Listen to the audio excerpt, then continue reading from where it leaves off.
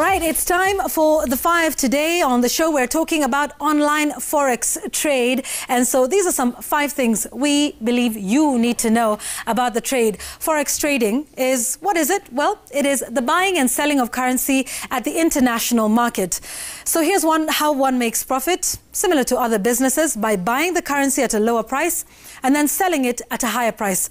It is therefore dependent on the ever-changing exchange rate. The trade has opened up to individual retailers and has picked up in Kenya significantly since 2017 following CMA regulation. And Kenya is now the third largest forex trading market in Africa after South Africa and Nigeria in terms of number of traders and trading volume. The CDSC estimates that the net asset base of online forex brokers is over 300 million shillings. Now, of the 1.3 million forex traders on the whole continent, Kenya accounts for about 70,000 of them. Now, of course, the next question is who regulates them? Well, the Capital Markets Authority has been regulating online forex trade for about four years now. The CMA passed its regulations on the 25th of August 2017 to safeguard the traders in Kenya. Ensure the broker you choose is licensed by the CMA. Why? It's helpful.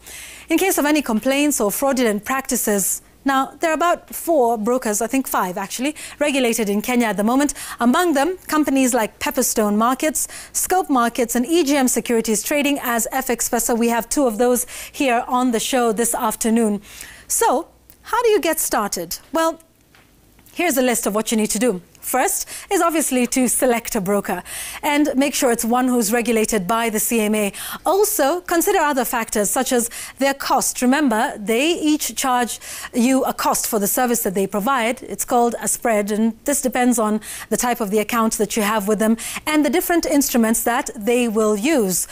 You also want to consider the minimum deposit they require, the type of accounts they offer, and the tools that they use for trading. So once you've selected your broker, you then open an account with them, you make your deposit, and then you download the trading platform and you get started. Now, I know it sounds easy, but we'll talk about it a little more. Forex trading, as you know, here's another thing, it's about managing your risk. It is a risky venture.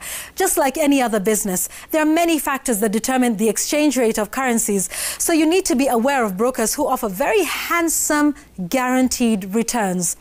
The general rule of thumb is don't invest more money than you're prepared to lose. Now remember also that currency exchange rates are highly volatile and unpredictable. Now, some experts have said that up to 60% of traders lose more money than they gain. Now, whilst the online forex traders uh, and the trading seems lucrative, especially now during the COVID 19 pandemic. I'm sure you've seen the ads popping up just about anywhere online. There is still a lot to learn about how it actually works.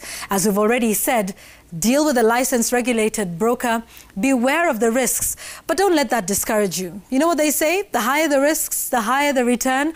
But it also needs to be an educated risk. That means you have to understand the market. So don't only depend on your broker's advice. The Forex market is open 24 hours a day, so you can also monitor the exchange rates for yourself.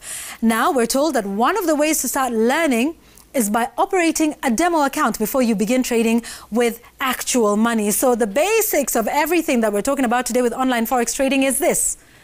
Do your homework. That's the five.